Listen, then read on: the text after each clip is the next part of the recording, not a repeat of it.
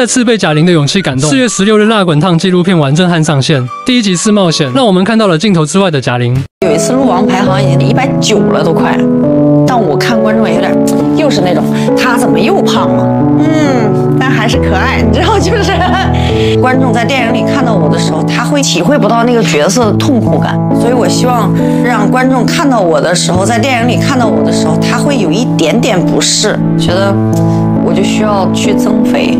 大家在电影《热辣滚烫》中，通过短短两三个小时，见证了贾玲的蜕变。但在现实生活中，贾玲付出的远比我们想象的要多。为了在前期营造乐莹的颓废感，贾玲是先增肥后减肥，一度增肥一个两百斤，无疑给之后的减肥增加了更多难度。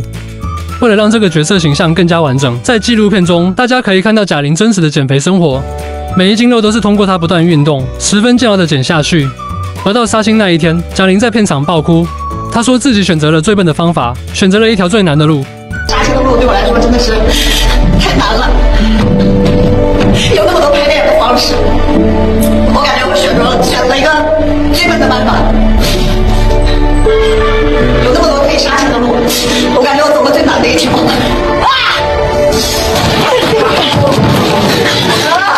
但是贾玲也收获到更多人的喜爱，她值得。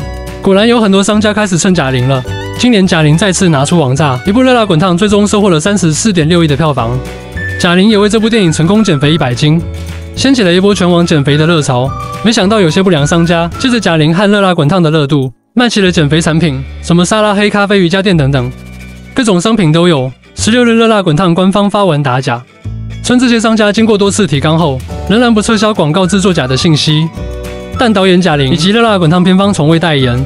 也未授权任何减脂或无糖类饮品、食品、营养品的提醒大家不要，因为这些商家盗用了贾玲的形象宣传，就上当受骗。确实，贾玲减肥以来，从来没有说过自己瘦身成功是靠吃了什么、喝了什么，而是靠控制饮食和运动减肥。之前贾玲也透露过，自己的减脂餐主要是吃粗粮和蔬菜，完全是减肥的正常必备。大家千万不要投机取巧，上当受骗呀！感谢收看本期节目，请点赞关注，咱们下期再见。